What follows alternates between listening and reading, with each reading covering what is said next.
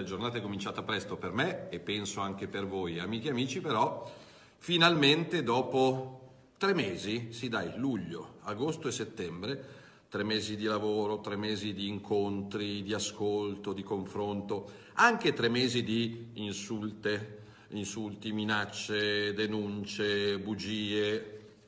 Abbiamo il decreto, il Presidente della Repubblica pochi minuti fa ha firmato il decreto sicurezza e immigrazione di quel cattivone del vicepresidente del Consiglio Matteo Salvini. E quindi settimana prossima il Parlamento comincerà a discutere, ad arricchire, a migliorare e soprattutto a votare queste decine di articoli che dal nostro punto di vista porteranno più sicurezza nelle strade italiane. Quindi finalmente, dopo tante polemiche, dopo che i giornali, soprattutto quelli di sinistra, dicevano non ce la farà mai Salvini, Mattarella non firmerà mai il decreto, chiacchierano tanto ma non riusciranno ad arrivare fino in fondo, Ciapalì e porta a casa, sei di Milano.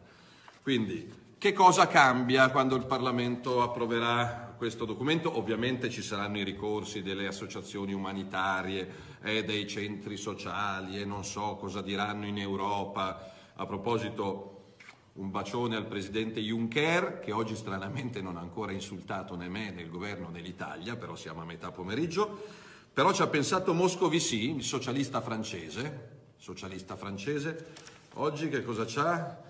Oggi dice che i problemi per l'Europa sono Salvini, Le Pen e Orban, eh, responsabili dell'estrema destra.